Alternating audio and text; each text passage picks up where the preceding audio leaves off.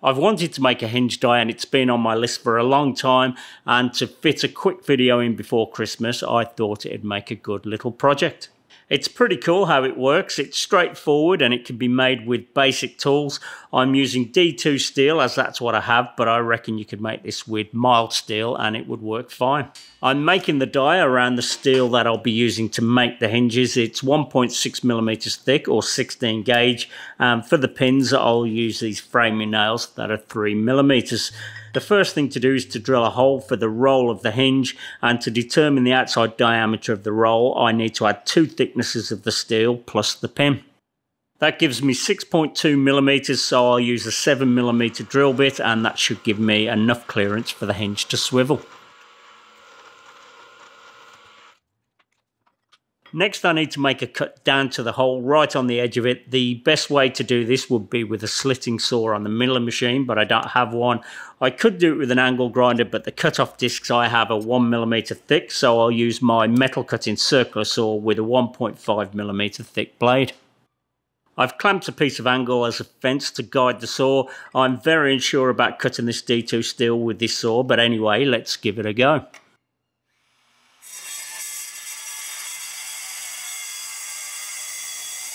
It's working, but I don't think it's happy. I don't think it's the type of steel either. It's struggling more with the partial depth of cut.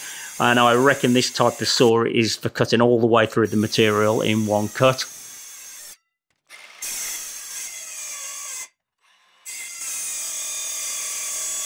Before I destroyed my blade, I decided to finish it with an angle grinder. It doesn't have to be crazy accurate as long as it's pretty good. The main thing is the cut needs to transition into the hole smoothly without any kind of step.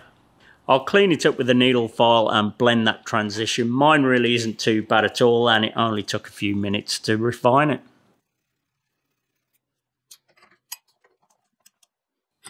I keep filing and testing with a piece of the 1.6 millimeter thick steel until it fits just about right.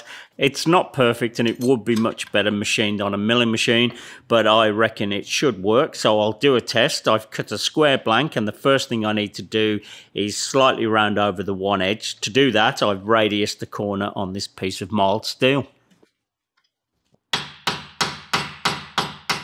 The end just needs to be curved over ever so slightly and this will help it form better inside the die. Before I put it in the die, I'll add a smear of oil on either side of the piece where the roll will be formed. I'm using the fly press for this, but any sort of press could be used. I give it a couple of controlled pushes and then I put a nail in to help keep the roll neat and then finish forming it until the roll meets the face of the hinge.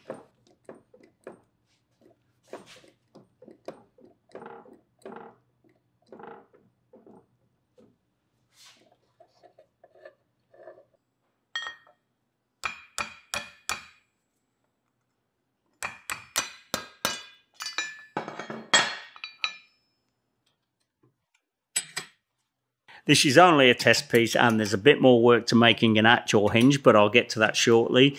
The barrel needs drilling out just to clean it up and for that I'm using a 1 8 inch bit which is 3.2 millimeters and will give the 3 millimeter pin a little clearance.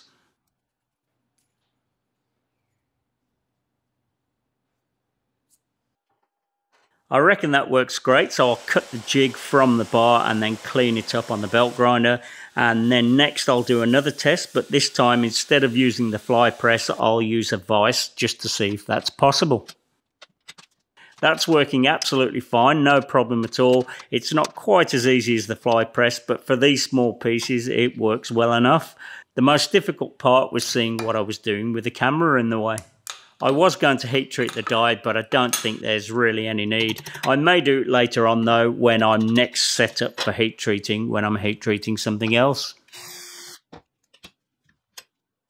The test pieces worked well, so next I'll make some actual hinges. First I'll cut a strip of steel and then I'll cut the blanks from that. And to do that, I'm using my shears that I made in a past video. If you haven't seen it already and you're interested, I'll put a link above.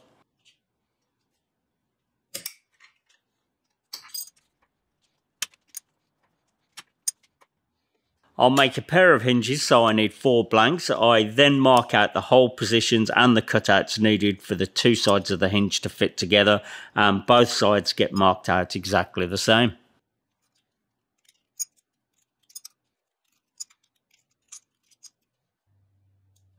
I'm thinking about doing some Scrapwood Challenge videos in the new year. Let me know if that's something you'd like to see and any ideas of what you'd like to see me make.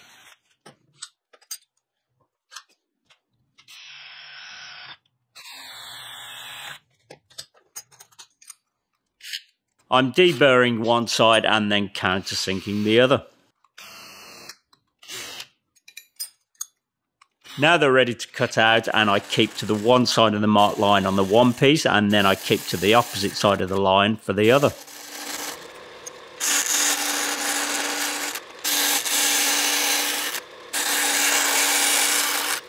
I can't quite get it all with this bandsaw but it takes less than a minute to file the last bit down.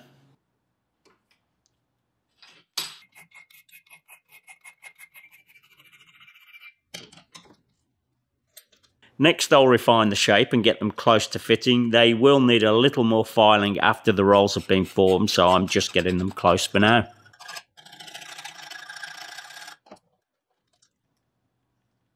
On the second hinge I thought I'd show that you don't need a bandsaw to cut them out and I reckon it's just about as quick with a hacksaw.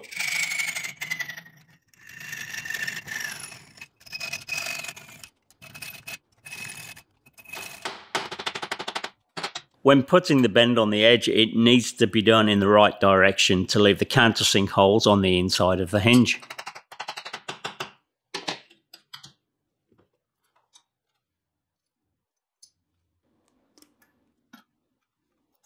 I said earlier that I reckon you could make the die from mild steel. It obviously wouldn't last as long as heat treated high carbon steel, but if you use plenty of oil, I reckon you get a heap of hinges from it and it's not difficult to make another when it's needed.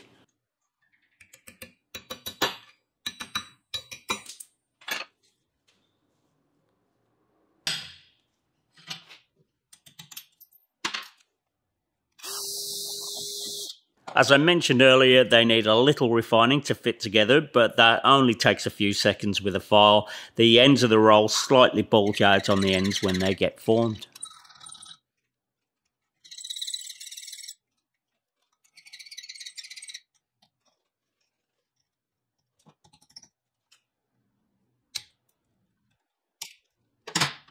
I'll grind the pin down so it's just slightly sticking out on either end of the hinge.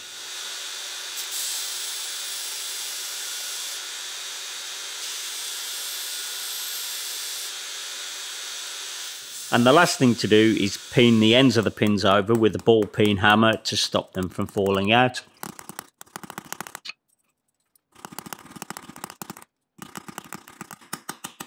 I reckon that's pretty cool and they really are very easy to make.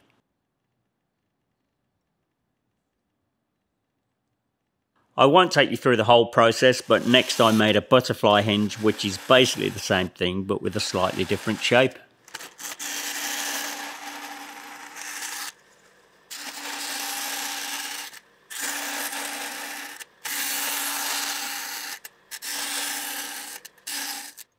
That's the two halves of the hinge and here they are with the rolls formed. I'm really liking these ones and I reckon I could find a project to use them on.